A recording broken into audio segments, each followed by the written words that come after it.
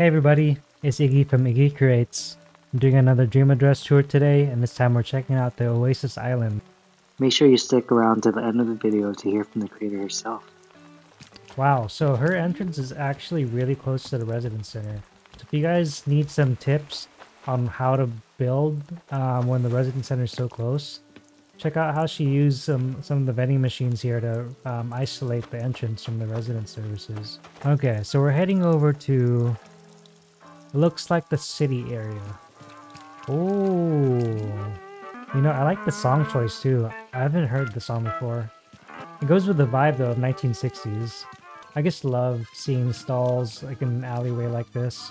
I noticed there's a lot of brown on your island, hashtag brown core, and I love these street patterns too. Again, I forgot to check again. Let's look at the map.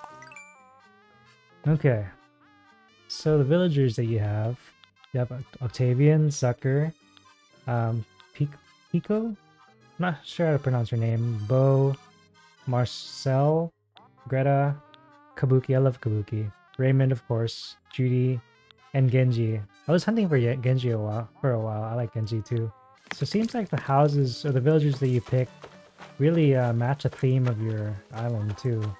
Over here, we have nice little reading area over here.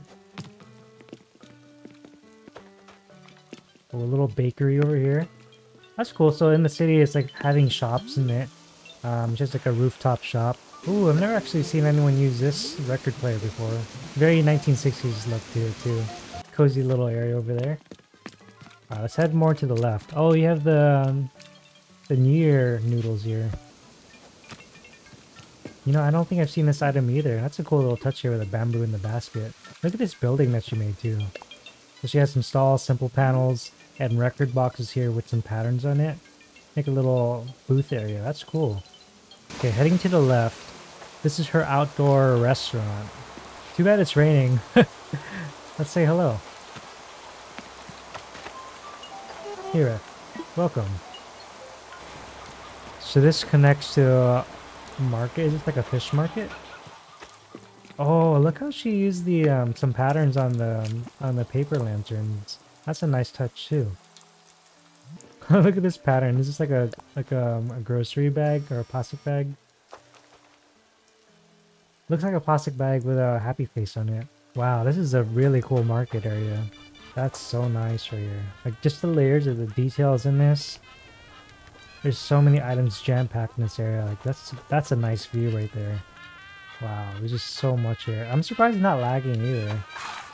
There's a lot going on. Okay, so leaving this area, let's go back towards the right. Looks like a train station over here. Oh, looks like someone forgot their ticket. They dropped it. That's too bad. I love how you can see the stairs behind the, the, um, the train station too, like through the stalls. Number 10, we're heading up to the cemetery. Nice double staircase with the trees and the bushes here. Wow, I just love how the, the, the, vibe changes when going up the stairs here. This is nice too. Oh, look at these baby trees too. Again, we're leaving the city now, so it's going to be all rural here. I like the dirt path over here. Oh, this is her little toy shop area. Even the toys in here are very, very brown and like 60s feel to it. Look at that. There's so many different types of buildings that you made too. So above these stalls, Looks like, I think those are the, the lattice fence and the, um, the bug cage. Interesting use of items to make it look like different rooms too. Whoa. Look at that. I saw I saw this on Instagram the other day where people were making like tree houses.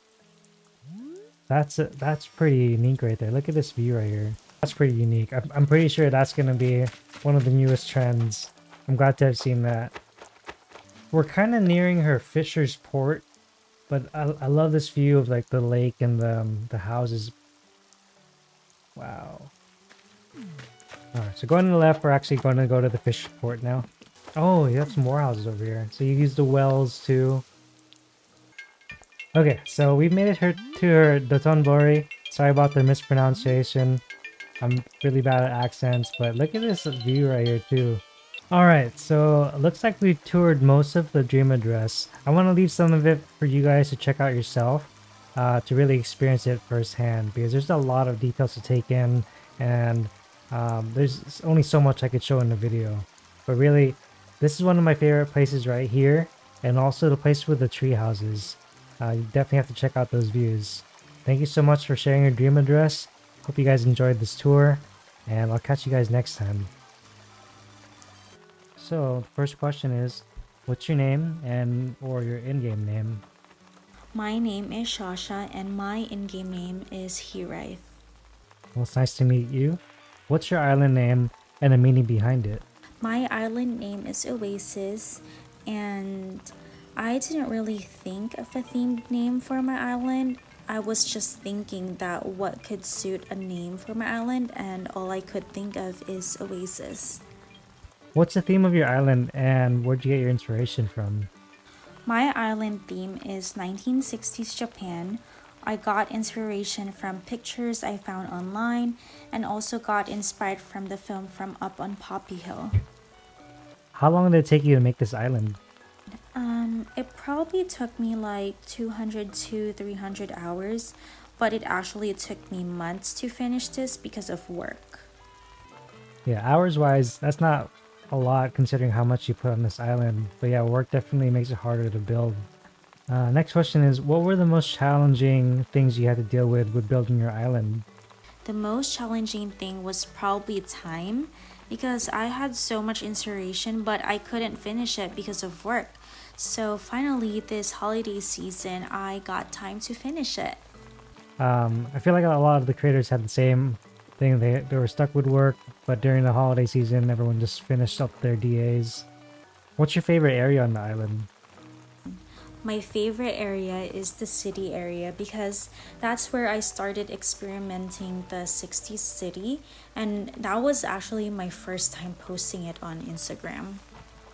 Oh, yeah, I love city areas. I can't wait to see that. Last question is um, what's next for you after uploading your dream address? Um, I haven't been designing the interiors of my island, so that's probably what I'm going to do next.